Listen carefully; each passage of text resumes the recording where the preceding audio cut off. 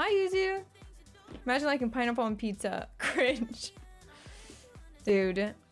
You know what's even worse? Ketchup on pizza. Do you eat ketchup on pizza?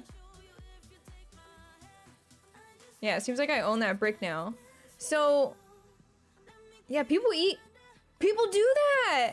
They really do that. I don't know. It started to become like a thing. Like all these people started coming out of the woodworks because they eat pineapple on pizza. I'd never heard of it until, no joke, like this month. it's wild. Chesto, thank you for the gifted sub. Thank you, thank you. Um, putting ketchup and mayo. Yeah, what the fuck, man.